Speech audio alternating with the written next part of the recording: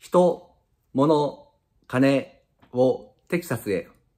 CCIM のルークです。今日のダラスも暑いです。最高気温は30度。さて暑いといえば、11月のアメリカ大統領選挙の候補指名争いでトップを走っているトランプ前大統領の支持率が各種世論調査の平均で42%ということで2022年11月の中間選挙前以来の高水準に達していることが分かりました。まあ、本選で再対決となる公算の大きいバイデン大統領の支持率は40%前後です。リアルクリアポリティクスの最新の集計によるもので、返り咲きを狙うトランプの支持率は2022年12月に記録した過去最低の36%から回復しています。好意的意見を持つ有権者の割合は各候補者のブランドの強さを示すと考えられ、全米の世論調査を全般的に反映しています。バイデンの支持率は政権発足当初はトランプを上回っていました。一方、再選を目指すバイデン大統領との対決となった場合では、トランプが現時点で平均2ポイントリードしていることがリアルクリアポリティクスの集計で示されました。ただ、バイデン、トランプ、両氏を合わせた支持率は82%と歴史的な低水準です。これは有権者の18%がどちらにも不満を抱いていることになります。このように民主、共和、両党の候補者に不満を持つダブルヘイターは投票に行かないか、あるいはロバート・ケネディ・ジュニアといった無所属候補に投票することになると思われます。そんなバイデンですが、2月29日に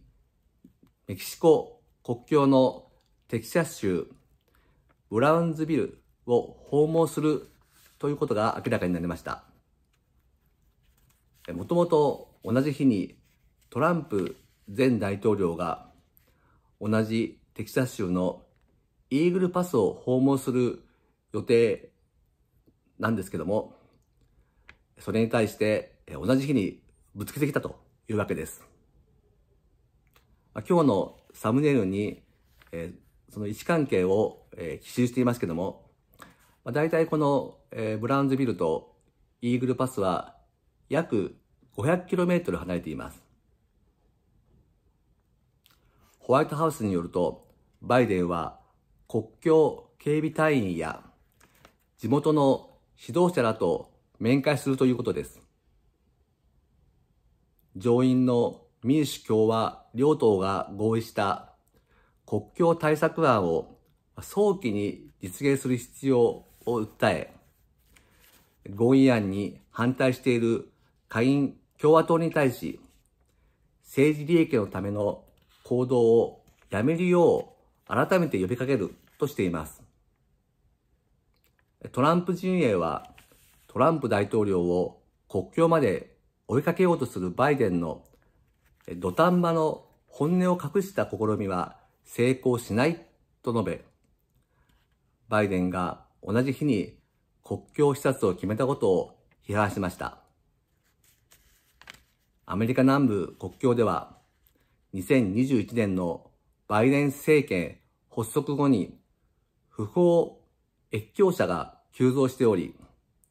バイデンの大きな難題になっています。ギャラップ社の1月の世論調査では、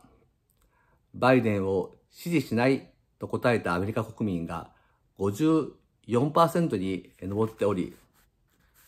国境移民対策への不満を理由に挙げた人が、経済政策などを上回り、19%と最も多かったです。逆風を受けて、バイデンは、前政権が進めた国境の壁の建設再開を表明し、状況次第で国境封鎖に踏み切る選択肢も触れています。このように不法移民に寛容な姿勢を転換したわけです。メディアによると、バイデンが不法越境者による難民申請を制限する大統領令を検討しているということです。トランプは自身のトゥルースソーシャルで、イカ様ジョー・バイデンが招いた国境侵略がアメリカを破壊しているとバイデン政権の国境政策を攻撃しました。私が大統領になれば、直ちに国境を封鎖し、侵略を止め、初日にアメリカ史上最大の不法犯罪者の強制送還作成を開始する強調しました。以上、テキサスのルークでした。チャンネル登録よろしくお願いします。